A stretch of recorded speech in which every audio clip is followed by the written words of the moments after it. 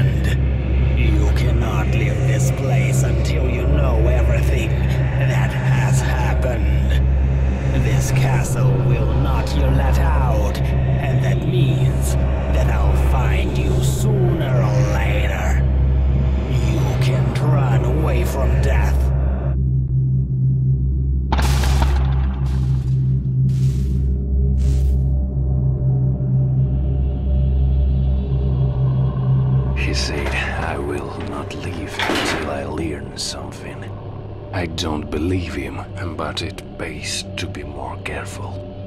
Maybe I can discover something really important.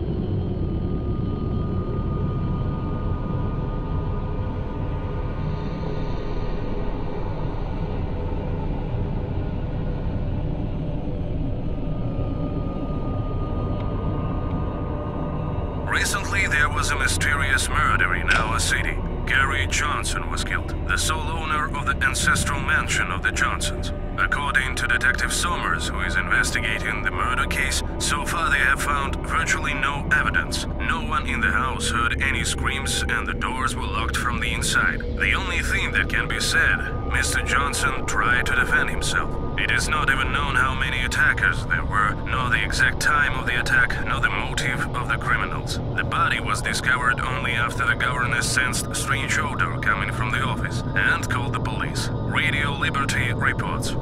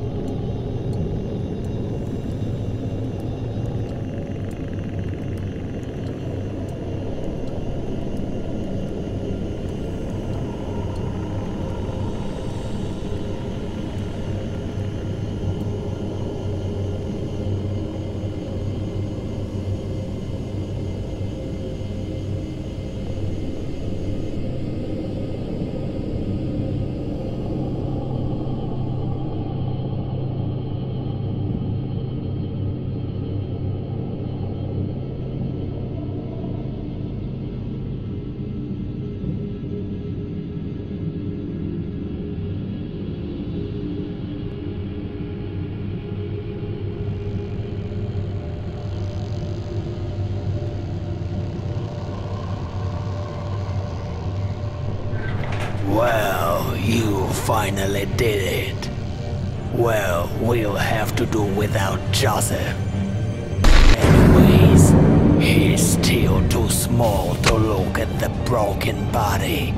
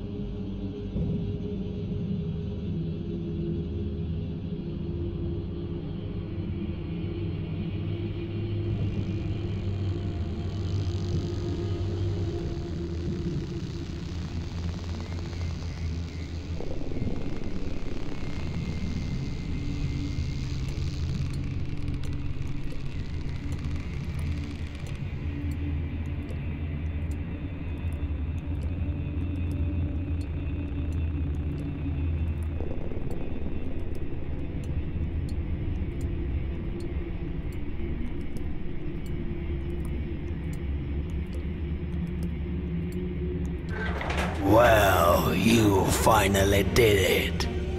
Well, we'll have to do without Joseph. Anyways, he's still too small to look at the broken body. You can't escape this time. Now I'll get my revenge.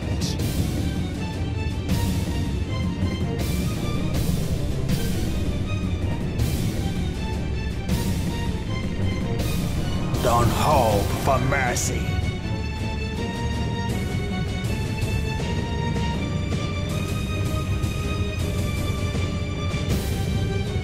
Don't play with me.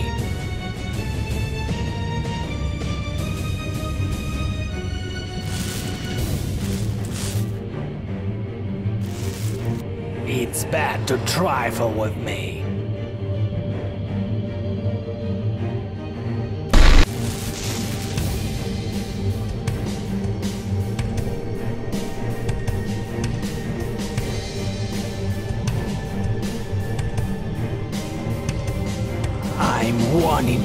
For the last time.